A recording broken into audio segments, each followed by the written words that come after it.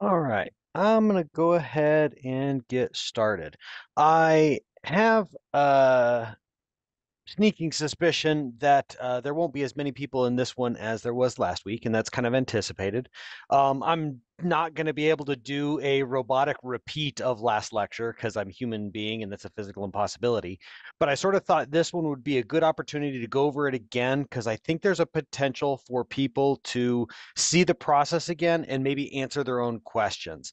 And I have no doubt that if anybody tried this, there's probably a likelihood that things didn't go exactly as planned because of some scenario that is likely to occur or even unlikely to occur. So I wanted to go ahead and just do this process again so that we can clear everything up, make sure that we're all set to go, and then we'll start moving on with different lectures as we go. Um, the uh, current plan for next lesson, uh, next Friday, is probably going to be something like going through all the settings in Pro. There is a lot that we can configure. There's a lot that you can configure separately. There might be different needs within the Bureau based off of your role that would dictate different settings and things you'd want to be aware of. So I thought I'd just go ahead and go through all of the settings in um, uh, the settings options in Arc Pro and just kind of outline what each of those mean. I don't know what all of them mean, like in absolute detail, honestly. I don't know what some of them mean in general. Um, but the reality is, is that most of the ones that I have played with and found utility in are kind of the ones I'm going to go over. And that then leads us into, you know, actually then starting to work in Pro. Um, I'm debating whether or not the metadata topic will come up sooner rather than later. Um, there's a uh, kind of an idea of maybe covering topology things as well at some point. There's lots on the table. And then again, as always, your questions will help um, sort of dictate the path that this uh, uh, series goes. Uh, this is meant to be, you know, for all of you guys to uh, be able to ask questions and figure out processes and maybe learn from some of the things that we've figured out over the years and all of those types of things. So um, keep showing up, keep asking questions, watch the YouTube videos, ask questions on the YouTube channel. All of that's fine. Um, this video will be posted to the YouTube channel, just like the same, uh, just like last week. I will add it to that same informal lecture series playlist so that there's always a consistent place to go and hit these videos so that you can actually catch up on them, watch them, rewatch them. Um, I wanted to talk about uh, the software update thing again. We're going to kind of go through the same things that we did last week in case people missed or there are questions. And it also gives me the opportunity to establish the expectations amongst our users that when we open ArcGIS Pro, if you happen to see in the upper right hand corner a notification that says there is a ArcGIS Pro software update available, that means that there is probably a new release, a new major release, a new minor release, or a new patch. Please do not update this yourself. Everyone should currently be on 3.2.1, and we want to keep everyone on that same version for as long as possible, or at least long as um, responsible um, as uh, bugs are found and things like that patches fix those things so we may be required to go but we preserve the interoperability within the bureau the key thing the most hard principle on this to remember is that three two one currently we're in arc release pro major version 3 minor release 2 patch one. The key thing to take home is don't go beyond three. Don't go beyond a major release. That will absolutely introduce an incompatibility with sharing your um, projects with your coworkers and collaborators. If we do happen to get a minor release that goes 3.3, again, I would request that you ref- refrain from doing that until maybe some of us in the GIS group have had time to go ahead and vet whether that does uh, it, there is no compatibility issues. And then for patches, you know, the patches aren't the worst thing in the world. If you were to happen to do the one of those accidentally, it wouldn't matter in the grand scheme of things. We're probably fine with that, and your interoperability would just work. It probably wouldn't create any issues. Esri says that it will not create issues between patches, minor releases, but there is compatibility issues likely with major releases. So it's that first number in that in that set of numbers that is the important one to make sure that we're all on the same page. If you do happen to update things beyond that and it starts creating problems, let me know. We will um, reinstall the version prior or the current operating version that then prevents those interoperability issues. Okay, so um, what I'm going to do now is I've opened up Arc Pro. And like last time, this is going to be extremely similar. There might be a few things that I'm going to discuss slightly differently because I recognize um, uh, some issues that I may uh, have brought up unintentionally. Last time I said when you open up ArcGIS Pro, it always opens to this splash screen. Okay, that's not entirely true. There is a setting that you could uncheck and it won't show up on this splash screen. It'll start with a different screen. Okay. Generally speaking, it will open up to this splash screen. So if you are somehow missing this, again, we'll talk about settings next week. It'll we can go into the settings uh, options for Arc Pro and reconfigure it so that this splash screen shows up. It doesn't matter in the grand scheme of things, but that is one of the fundamental things that this lecture, I mean, right from the get go, that's where we start is on this splash screen for uh, comprehension and communication and understanding. Um, so we open, we're going to start without a template because what we want to do is import a project, a MXD into Pro as a project. So we're going to go ahead and start without a template. What it does is it opens to the insert. oh, excuse me. I'm sorry. It opens to the insert uh, uh, tab ribbon interface. And on that, we have the import map. One of the questions that was brought up last time was, is import layout and import map the same thing? They do very, very, very similar things. So I don't think it would matter in this case which one you pick. But import layout has like an extra function where you can load in a specific layout configuration that you wanted to work from.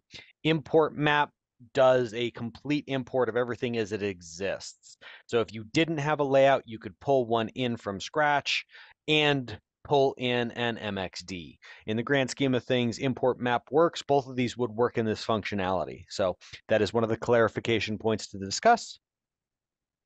Uh, but I'm going to go ahead and use import map.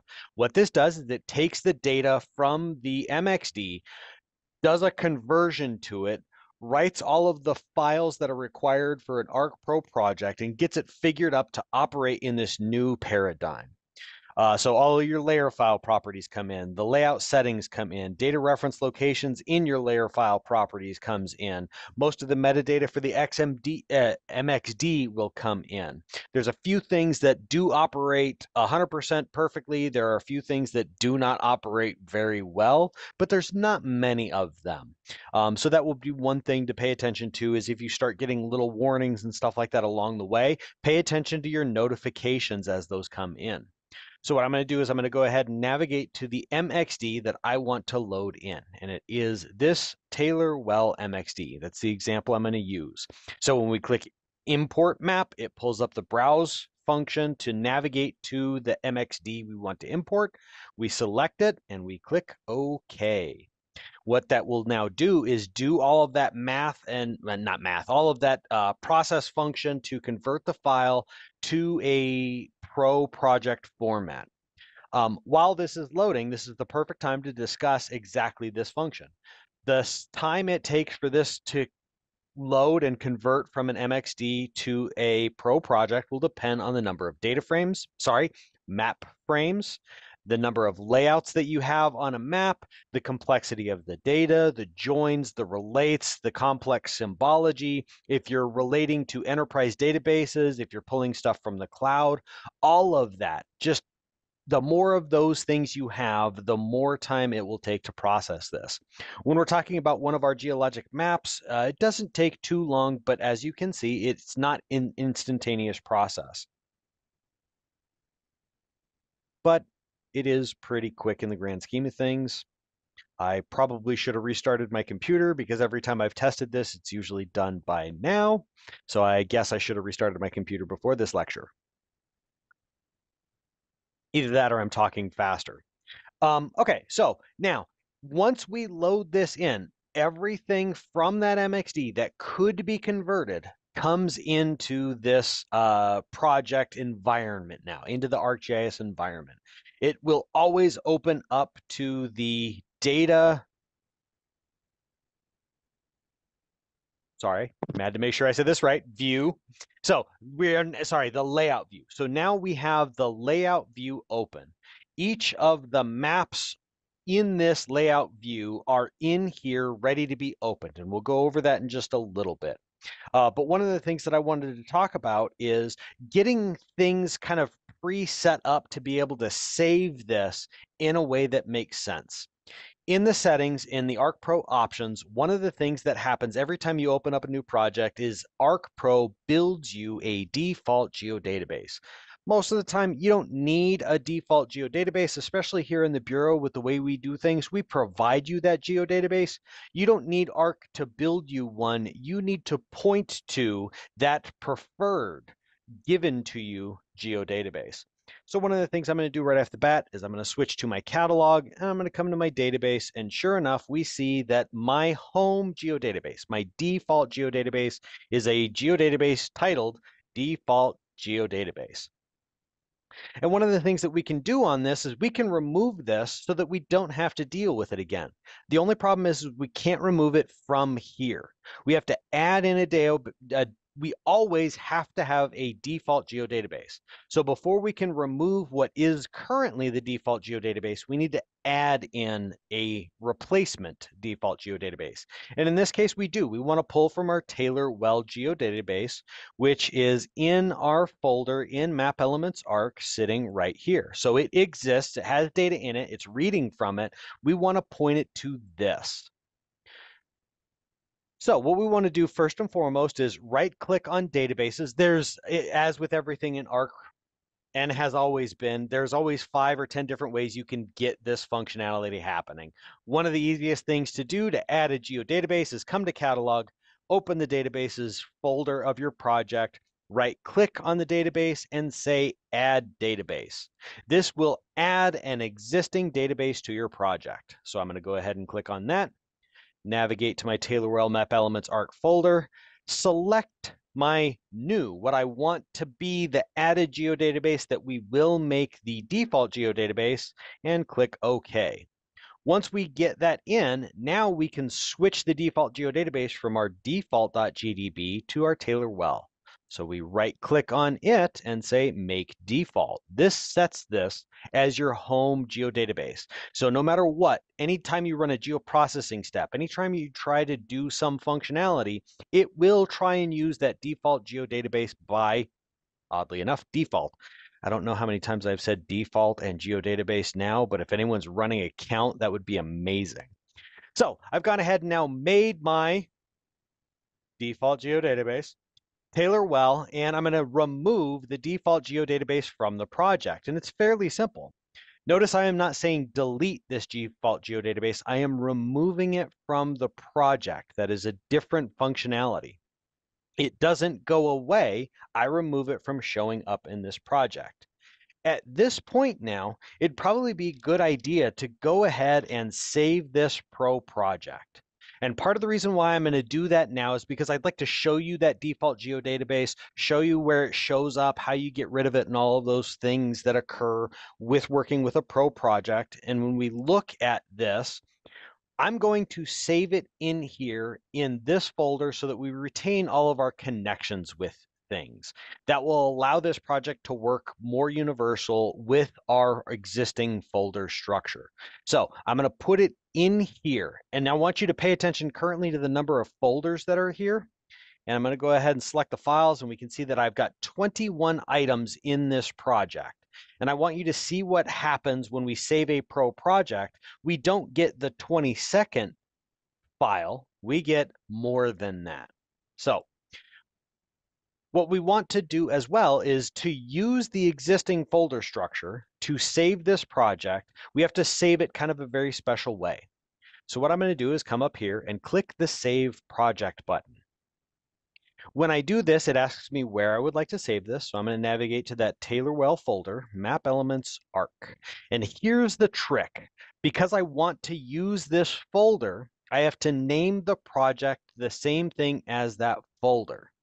If you name this Taylor Well, I would get a Taylor Well folder inside here now. So it would be Taylor Well, Map Elements, Taylor Well.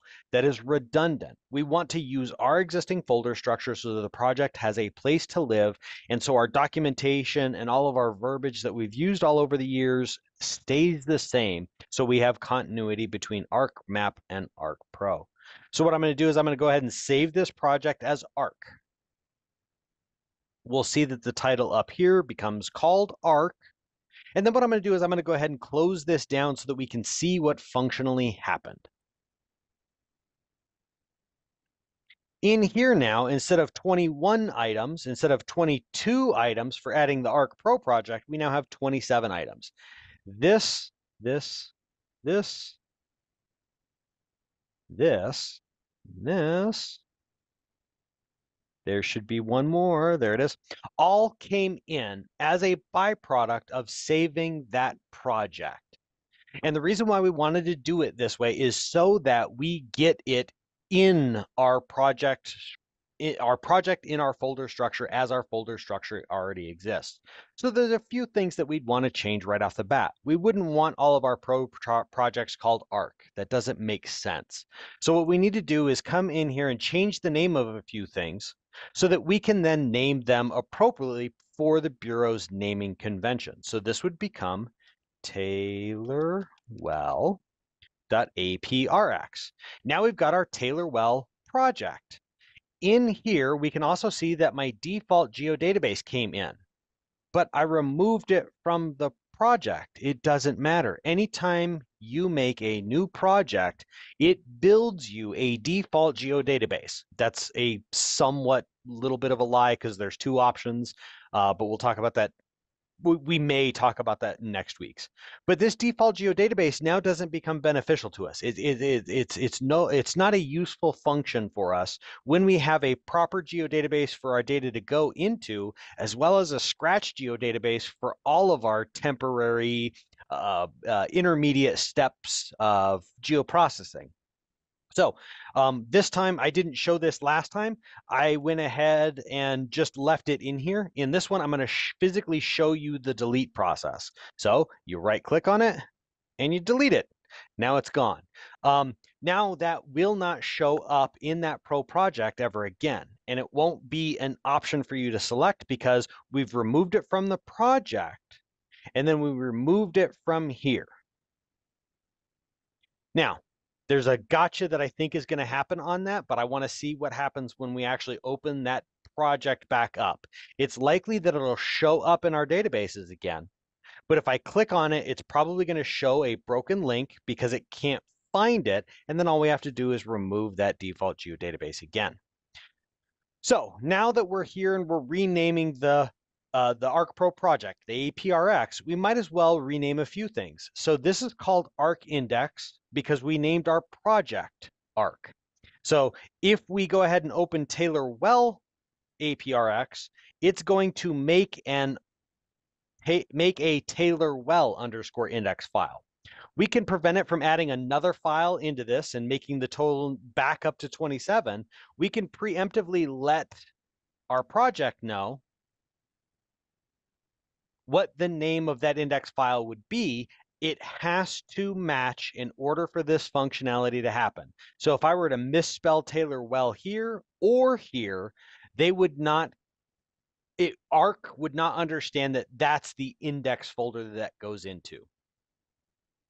The other thing that happened is in the process of working up that untitled project before we physically saved it, it preserved that index information that came in with that project as the untitled index when it was named unti un untitled. So we can go ahead and remove that one as well. So I delete that one from it. Now I'm at 25 files. We created an import log we created a default ATBX and an APRX. And we have our Taylor Well index. So Now we're back at 21 files if we subtract those four that we just created. And when we open this project now, we've cleaned this up and set this up so we don't get any extraneous files that we don't know what to do with. So I'm going to go ahead and open up the Taylor Well APRX, check my notes to see where I'm at and make sure I covered things.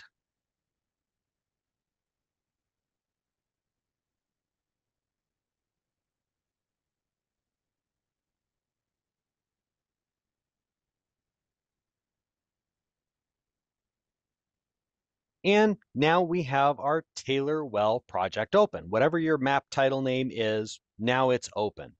Um, I see there's a question in chat. You do not have to remove the default geodatabase, but you will never use the default geodatabase. Um, you should always build yourself by design a database for final accepted approved project data to exist in and then a scratch geodatabase to put temporary files in while you're working on things. Uh, intermediate steps, if you've got a 10 uh, geoprocessing long step, you should put the nine of those in the default, in the, sorry, in the scratch geodatabase. And then when you make that final last step file, that should go in your actual default geodatabase for the project. Does that answer your question, Ginger? Hey, Phil, I have a question too. Oh, oh, okay. Um, are, uh, okay. Um, let's find out whether we answered Ginger's question first. Okay. I'm confused on on why we've got to do all this and all this, but I don't think now's the time to get me unconfused. Okay, so the reason why we're doing all of this is just to get the project imported and cleaned up. Arc dictates a process to its users that isn't exactly uh, coincident with the files and the way we use things in uh, the Bureau of Geology. That process of building that default geodatabase, we have no control over that. Pro does that for you. But you almost every project that we work on here in the Bureau has a database, a geodatabase that the data is going to go into. So we now end up with two databases that are project geodatabases when we only really need one of them, the actual pro project's geodatabase, not the one that Esri decided the project needed by default.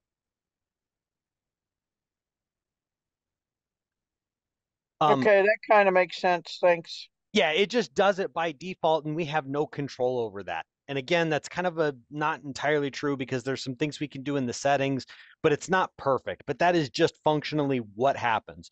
Just like the index file, we have no control over that. That is a script that runs that bill that is built when we convert a map to a project or when you make a new project by default all of these things just come in because Esri assumes incorrectly for you that you don't know what you're doing. Okay, that's a little oversimplification for it. They give you the default geodatabase so you can put data into it. When really you typically have schemas and stuff like that that you want to apply to the geodatabase. So, you know, it, it's here's the thing that you can put things in. Well, I don't like that container. I want our container. And that's all we're doing. We're just swapping containers. Okay.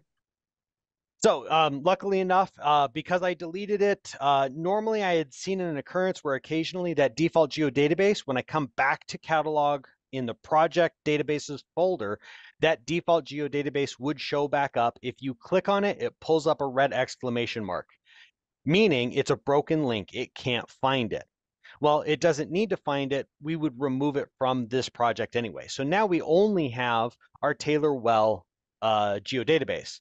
We should go ahead now and add in our Scratch geodatabase as well, so that we have that temporary location to write generic intermediary fi intermediate files to. The other thing that we should do is we should go ahead, our Taylor Well geodatabase is set to be our default geodatabase. We have the, there are scripts and tools that run in Arc Pro that write temporary files that we don't have control over. And most scripts actually go through and delete those during the process of creation. but we can also specify where those temporary files get wrote. And we as GIS users typically have temporary files as well. So what we're going to do is specify our Scratch geodatabase.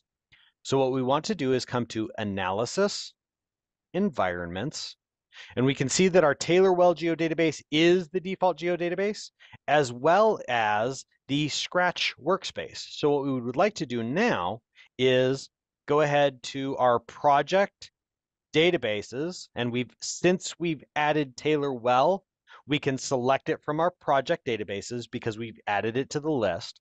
We can select it.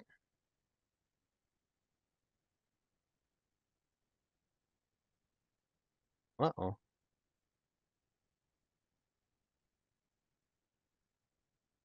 Why is that not working?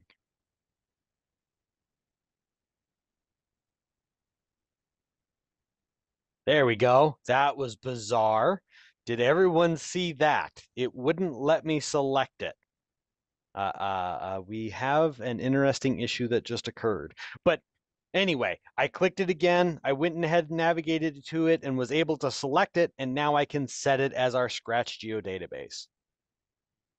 Click OK. It locks that in. Clicking Save then saves that to the project. Okay, um, Dan, that's right. You had a question. Yeah, it's a simple question, but uh, I noticed when you brought your uh, open up uh, Arc Pro, it went to layout mode.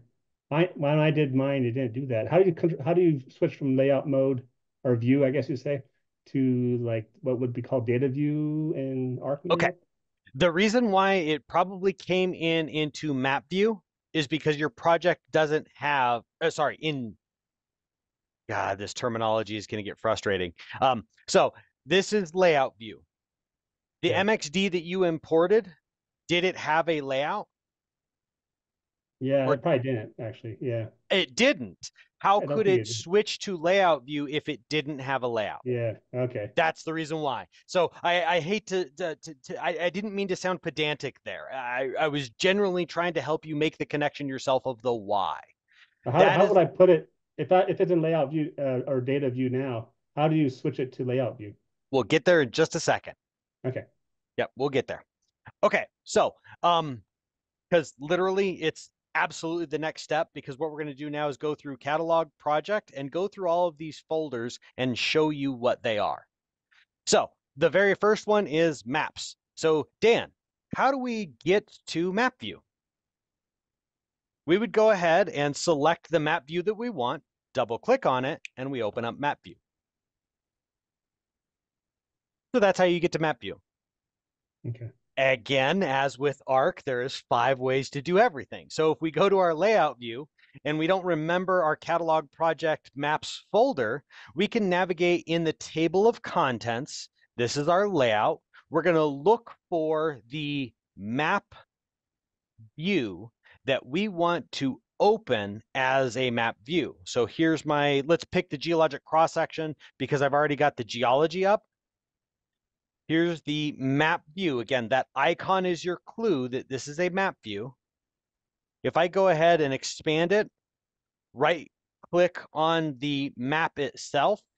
Oops, sorry, wrong one. Right click on the map itself and click open. This will also open the map view of that in that project. So there's lots of different ways to get there. I can open the correlation of map units by double clicking it. Um, if I'm not mistaken, there's a way up here in the ribbon to,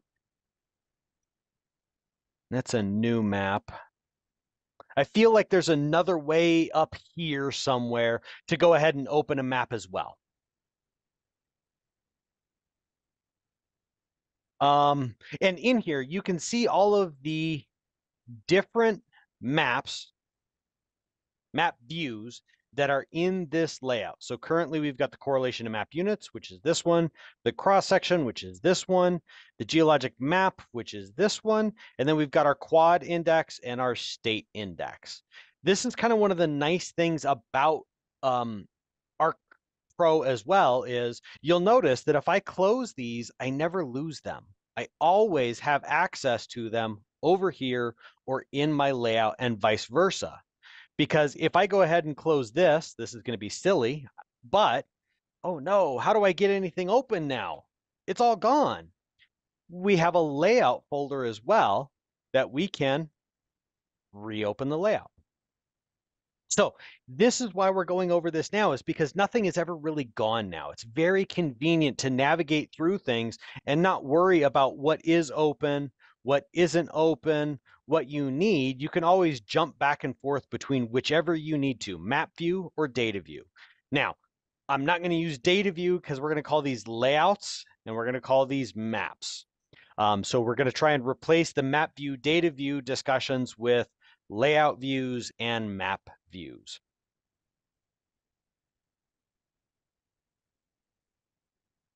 Okay, so the next thing is toolboxes.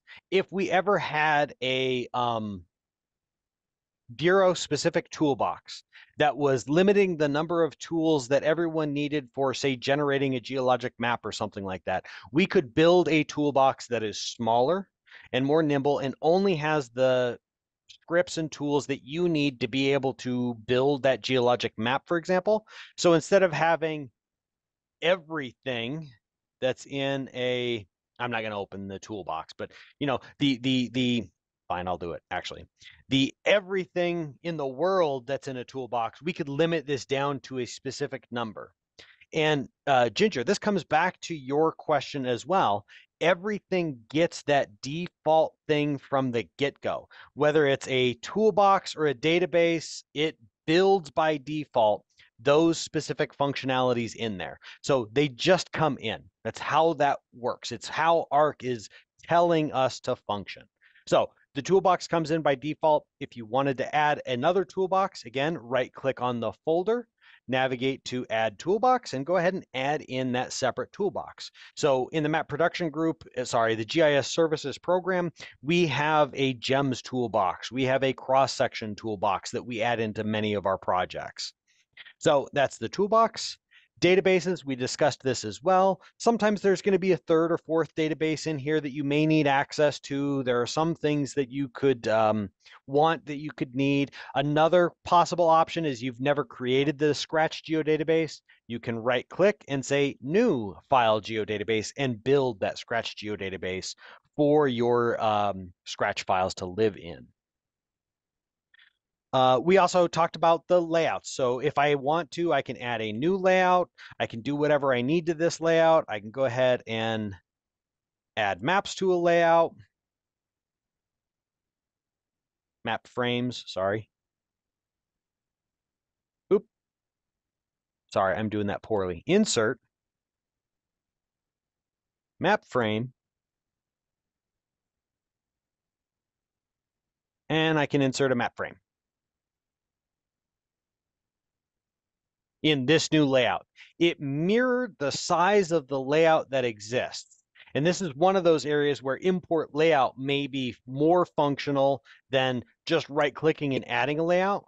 You may want to actually build a layout or import some other existing layout. This would be how you could get that function in.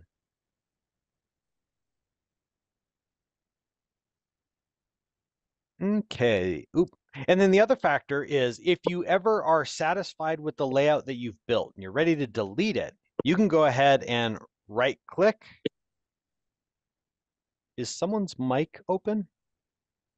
Sorry.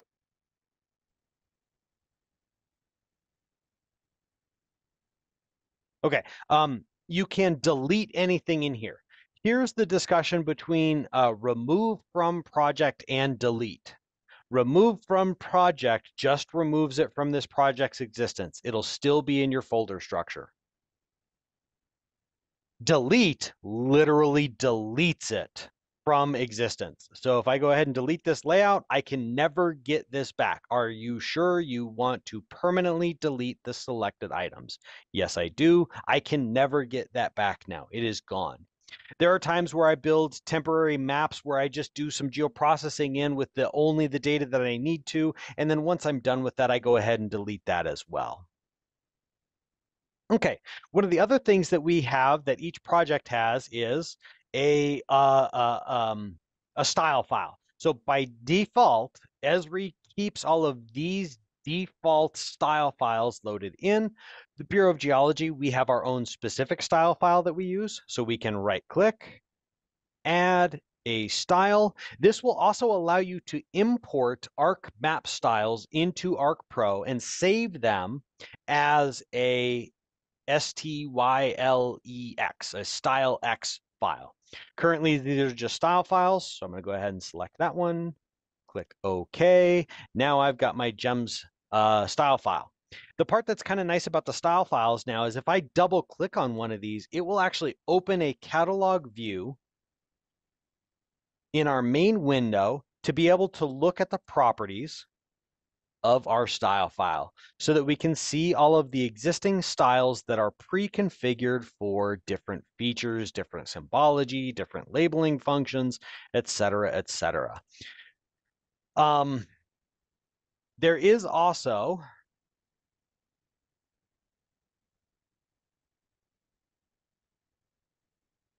Sorry, I'm drawing a blank on where that is. Oh, yeah, there it is. Okay. Um, on different tabs, these are content aware based off of what is open. And that's the reason why I was having a hard time finding this is if I had a map open, I'm pretty sure I know, yeah, insert, there it is. So I was looking for it over here, but in catalog view, it's over here. It shrinks in because of the content aware functionality of these uh, different views. You can also import a style. So we've got multiple ways of getting these things in. I'm going to go ahead and import in the Taylor Well specific style file. We double click on it. It'll eventually show up here and here in that file once it's done updating. In that view, sorry, I said file in this view.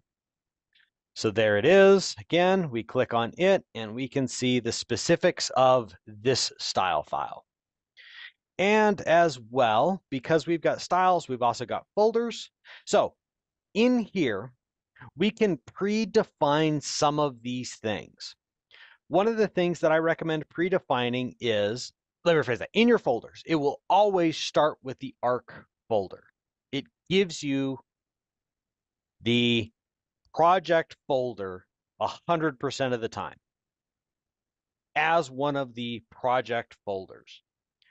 I have set it up so where that T data sets, where all of our base map information is, lots of reference material data is in, and our state map, my typical working directory, uh, my typical uh, um, uh, reference directory is what I should call that, always shows up in all projects. So what I'm going to do is I'm going to go ahead and remove my S drive from the project, and I'm going to show the process of adding a folder and also adding it to every project that ever exists from this point forward.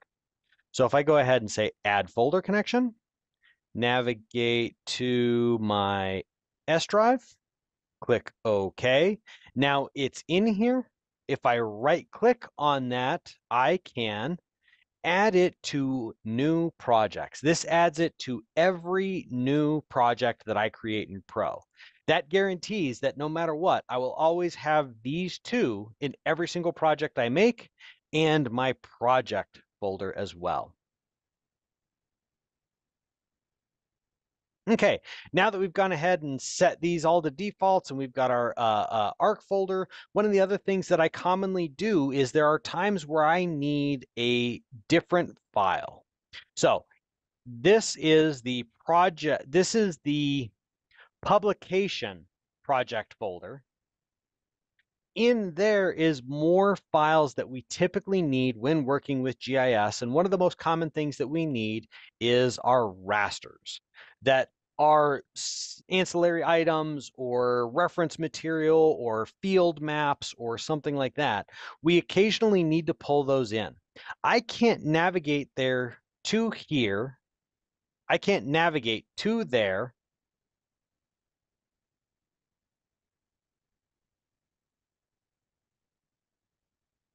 from here because I only have the ARC folder and I need, you know, two folders up. So what we can also do is right click, add a folder connection to that root folder that I'm looking for. So there's that root folder for the publication project.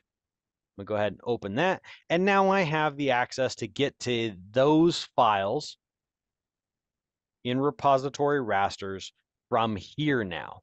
So we've added in the functionality. This would be a good one to keep in this project, absolutely, unmistakably. So now we can access the main root folder as well as just the ARC stuff folder, the, the GIS specific folder. The problem with this discussion is I have now indexed this folder multiple times here. Did I do S? I must have done S. Let's try that again. No, I didn't. There we go. So this is what I was looking for and expecting to see is this home folder showing you that these two are the same because you can only have one home folder. So in here, we can now see that this is indexed once and indexed again. That is one of the things that I recommend and caution you about when adding folder connections. The more folder connections you add, the more likely you are to re-index multiple things, the slower your software uh, will operate.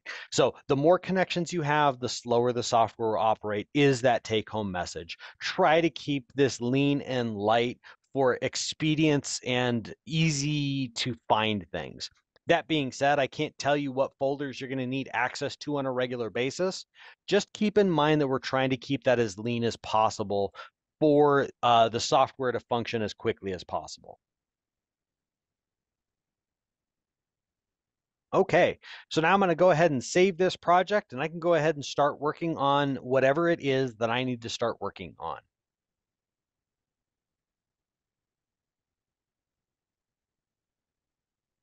Okay, one of the next things I wanted to cover is a precursor to the next discussion that we're going to go into, and that is settings. So in, if we go to project options, we pull up all of the settings options that are available to us in our software. Some of them are specific to the project. Some of them are specific to the application. The one that I'm going to comment on, there's a few that I'm going to comment on here. One of the ones that I'm going to comment on is in your project settings in the units. One of the things that I know is most of us use azimuthal compasses. So by default, ARC projects are set to quadrant bearing. Most of us don't have quadrant bearing buttons. Most of us don't write down things in quadrant bearing notation. Most of us use north as azimuthal. So I wanted to show you by default how to, not by default, but wanted to show you how in each project you will have to set this to North as Azimuthal because this is a project setting, a current project setting.